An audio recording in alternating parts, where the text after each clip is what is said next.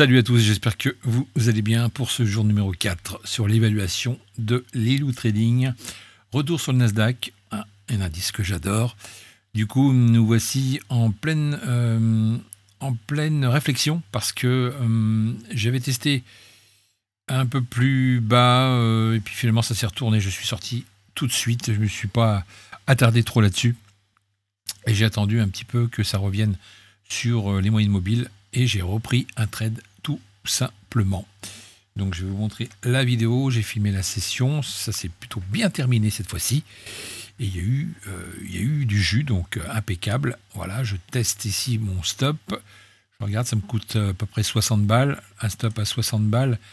Pour un potentiel de, gain quand même de 180, hein, c'est voilà, si jamais j'avais laissé aller jusqu'au bout, ce que je n'ai pas fait parce que après ça s'est calmé, on n'a pas eu cette espèce de d'envie de monter.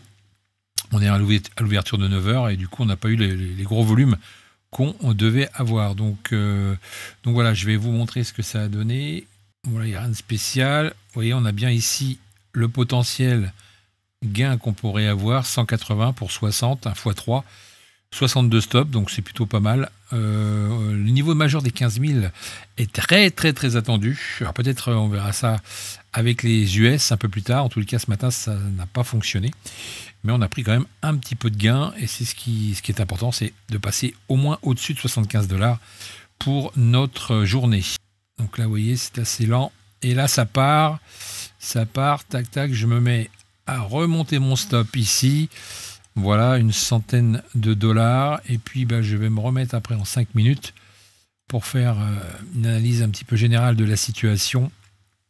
Et je me dis qu'effectivement, si à partir de là, eh bien, ça part, puisqu'on a déjà eu un premier élan, eh bien, ça serait plutôt sympa, puisque on va pouvoir tranquillement aller chercher euh, notre argent, nos 180 dollars. Euh, donc voilà, on est bien là, on est à 130, 140, ça va monter. Et après, vous allez voir que, euh, eh bien, finalement, ça stagne. Hein. On, a, on a un plus haut ici qui a vraiment du mal à passer. Euh, c'est un peu, c'est un peu pénible. Donc du coup, ce que je fais, je, voilà, je vais vous montrer ce qui se passe. On a ici le tableau.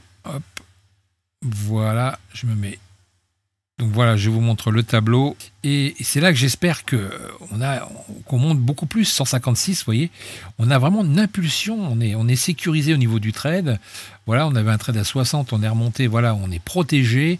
On sait que là, euh, voilà, ça peut monter d'un coup et aller chercher les, 15 000.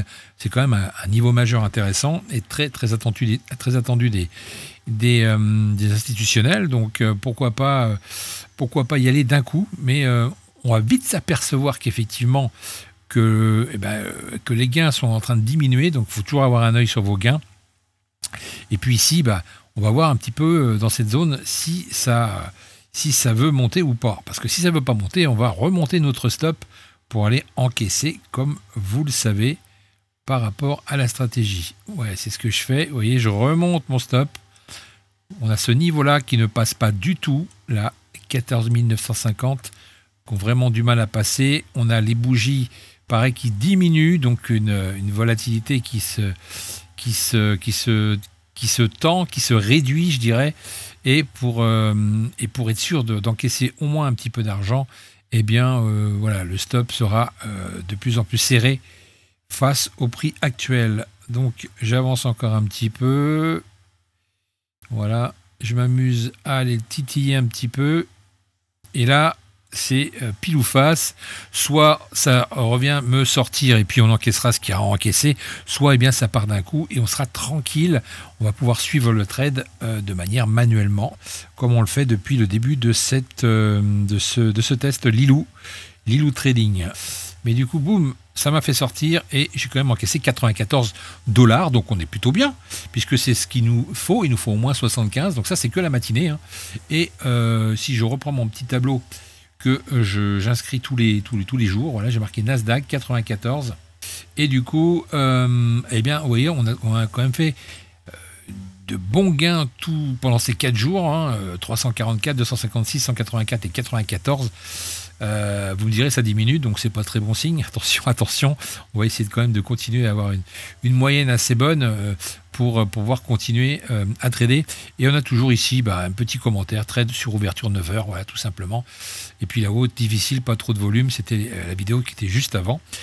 Donc voilà, on va continuer comme ça. J'espère que ça vous plaît, ce, genre de suivi sur, euh, sur cette, euh, ce test Lilou. On va essayer de, finaliser ça ensemble et puis euh, tout, on, verra toute la procédure si on arrive au bout pour voir un petit peu comment ça se passe quand on passe le test et qu'on va au bout avec de la réussite.